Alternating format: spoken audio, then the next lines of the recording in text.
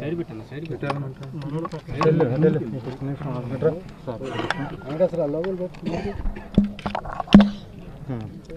ఈరోజు చంద్రబాబు నాయుడు గారు మాట్లాడతా ఈ జగన్మోహన్ రెడ్డి గారికి ఈ ప్రభుత్వానికి పోగాలం వచ్చిందని చెప్తా ఉన్నారు. మరి గడిచిన ఐదు సంవత్సరాలు ఆంధ్రప్రదేశ్ విభజింపబడిన తర్వాత అధికారాన్ని తెలుగుదేశం పార్టీకి ప్రజలు కట్టబెట్టడం జరిగింది.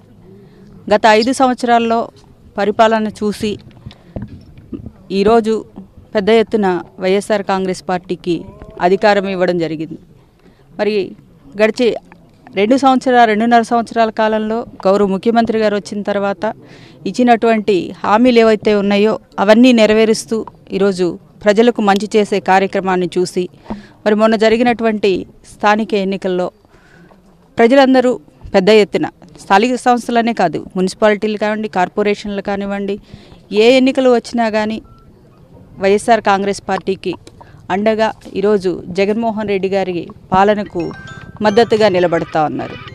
మరి ఏదొచ్చినా కానీ ఏది చేసినా ముఖ్యమంత్రి గారిని అనరాని మాటలతో నానా విధాలుగా దూషిస్తూ మరి వాళ్ళు మొన్న మొన్న చూసాము జగన్మోహన్ రెడ్డి గారిని పట్టాభి అని ఆయన మా మాట్లాడిన మాటలు. ఇంకా వాళ్ళందరూ కూడా ఒకే బాణీలో నోటి ఇష్టం వచ్చినట్టు రీతిలో మాట్లాడుతున్నారు. అలా కాకుండా మీరు గడిచిన ఐదు సంవత్సరాలు జాగ్రత్తగా ప్రజారంజకంగా పరిపాలన చేస్తే ఈరోజు మీకు ఈ పరిస్థితి వచ్చేది కాదని నేను అనుకుంటా ఉన్నాను. మళ్ళీ ఎందుకు ఇంత మెజారిటీ లేకుండా పోయామా? స్వయంగా నా నియోజకవర్గంలోనే నేను ఎందుకు ఓడిపోయానా అని ఆత్మవిమర్శ చేసుకోకుండా ఈరోజు ఇష్టం వచ్చినట్టుగా మాట్లాడుతూ ఉన్నారు. మరి ఆ రోజు ఆరు వందల హామీలు ఇచ్చి ప్రజల్లో ఏ ఒక్క హామీ కూడా పూర్తిగా నెరవేర్చకుండా ఉన్నటువంటి పరిస్థితుల్లో ఈరోజు ఆ ప్రజలతో తిరస్కరించబడి మరి ఈరోజు అధికారానికి దూరం అయితే ఆయన క్షణం కూడా ఉండలేరు. మరి ఇష్టం వచ్చినట్టు ప్రేరేపణలు చేస్తూ ఉంటారు. మరి ఒకసారి నేను వారి కుటుంబ సభ్యులకు కూడా చెప్తున్నాను ఒకసారి హాస్పిటల్లో చూపిస్తే బాగుంటుందేమో అనుకుంటా ఉన్నాను. ఎందుకంటే అధికారం దూరమైనప్పుడల్లా ఇలాంటి మాటలు మాట్లాడతారు. మారిన మనిషిని నేను మారిపోయాను మీ దగ్గరికి మళ్ళీ వచ్చే వస్తున్నానని వచ్చారు. మరి వచ్చిన తర్వాత మీరు ప్రజల్లోనే ఉన్నారు పరిపాలన చేశారు చేసినప్పటికీ కూడా మరి ఈరోజు ప్రజలు అంత పెద్ద ఎత్తున మిమ్మల్ని ఎందుకు తిరస్కరించారు అని ఏ రోజైనా కానీ మీరు మీ ప కూర్చొని పోస్ట్మార్టం చేసుకున్నారా? మరి చేసుకోకుండా ఈరోజు అధికారంలోకి వచ్చి ఈరోజు ప్రజా సంక్షేమమే ధ్యేయంగా ముందుకు వెళ్తున్నటువంటి జగన్మోహన్ రెడ్డి గారిని మొన్న వరదలు చూడడానికి వెళ్ళినప్పుడు గాల్లో వస్తాడు గాల్లోనే పోతాడని మాట్లాడతారు. మరి అన్ని విధాలుగా ఏ మంచి చేసినా కానీ ఇది ఇలా చేస్తున్నారు. లేదంటే మీ అనుభవాన్ని రంగరించి మీరు ఇట్లా చేయొచ్చు ఇంకాస్త బాగా చేయండి అని లేదా సూచనలు సలహాలు ఇవ్వాల్సింది పోయి ఈరోజు ఏదో ఒకటి ఏదో తిట్ల పురాణం తిట్ల దండకం మరి ఈరోజు అమ- అమరావతి అంటున్నారు. నిజంగా మనం చూస్తే మనమందరం ఈ ప్రాంతంలో ఉన్నాళ్ళం.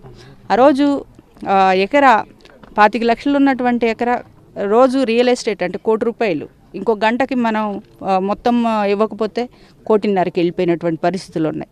నిజంగా రాజధాని అంటే ప్రజా రాజధాని అంటే అన్ని రకాల ప్రజలు కూడా అక్కడ నివసించే నివాసయోగ్యంగా ఉండాల్సినటువంటి ప్రాంతం. మరి ఒక కోటి కోటిన్నర విలువ చేసే భూమిని ఒక సామాన్యుడు వెళ్ళి అక్కడ నివసించడానికి రాజధానిలోకి కనీసం అడుగుపెట్టి ఒక చిన్న ఇల్లు కట్టుకునేటువంటి పరిస్థితి ఉందా అని మనం ఆలోచించుకోవాలి. ఈరోజు మరి మొన్న అక్కడ ఉన్నటువంటి వారికి ఇళ్ళ పట్టాలు ఇవ్వబోతే అది డెమోగ్రఫిక్ బ్యాలెన్స్ తప్పుద్ది. మరి అక్కడ పేదల్లో ఉండడానికి వీల్లేదు అక్కడ పట్టాలు ఇవ్వడానికి వీల్లేదని కోర్టుల ద్వారా నడిపించినటువంటి పరిస్థితి. ఈరోజు జస్టిస్ చంద్రు గారు మరి మొన్న ఆయన జై అని ఒక సినిమా రావడం వలన ప్రజలకు ఆయన ఎవరు అన్నది తెలిసింది. ఒక గిరిజన వ్యక్తి కోసం ఆయన పోరాడినటువంటి పోరాటం తెలుసుకుంది. అట్లాంటి ఆయన ఎవరు చెప్పకుండానే ఈరోజు ఈ రాష్ట్రంలో ఇలా జరుగుతుంది. మరి ఇంతమంది ప్రజాస్వామ్యంలో ఇంత మద్దతు వచ్చినటువంటి పాలన మీద కోర్టులు మరి ఏ విధంగా వాళ్ళు వాళ్ళు అంటే వాళ్ళు రాష్ట్రపతి పాలన పెడతారని చెప్పి ప్రజల్లో చెప్తూ ఉన్నారు. ఇదంతా కరెక్టా అని ఆయన అడిగితే ఏదో రిటైర్డ్ జడ్జిల్ని తీసుకొచ్చి మాట్లాడిస్తున్నారని మాట్లాడుతున్నారు.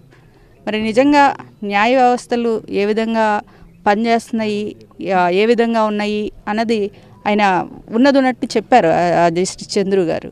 దాన్ని కూడా మనం ఏదో రిటైర్డ్ జడ్జిని తీసుకొచ్చి కావాలని మాట్లాడిస్తామని చెప్తా ఉన్నారు.